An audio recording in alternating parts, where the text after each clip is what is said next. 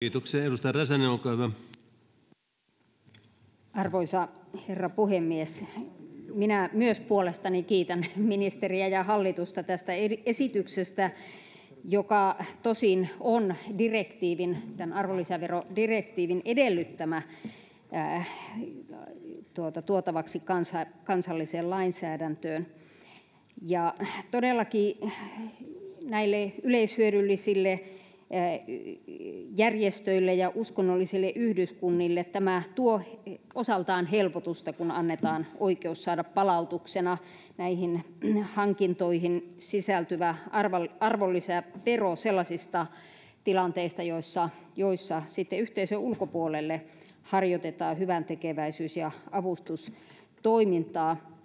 Mutta kun Suomessa on paljon erilaisia yhdistyksiä ja myös näitä uskonnollisia yhdyskuntia, jotka harjoittavat avustus- ja lahjoitustoimintaa, niin tiedustelen ministeriltä sitä, millä tavoin tästä aiotaan tiedottaa niin, että pienemmätkin yhdistykset ja yhdyskunnat tietävät tämän, ja millä tavalla sitten myös tuetaan sitä, ettei näille pienille yhdistyksille koidu ikään kuin liian suurta byrokratiaa tästä toiminnasta. Yhdyn myös tähän edustaja Antero Laukkasen esiin tuomaan kysymykseen ja huoleen kansalaisten verovähennysoikeudesta lahjoituksista, joka monessa maassa toimii.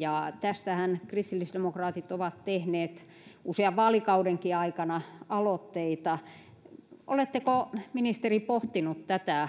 Voisiko se olla paikallaan, että myös lainsäädäntöön tällainen saataisiin, kenties sitten vaikka tulevilla kausilla, jos tämä hallitus ei enää näitä pysty tekemään?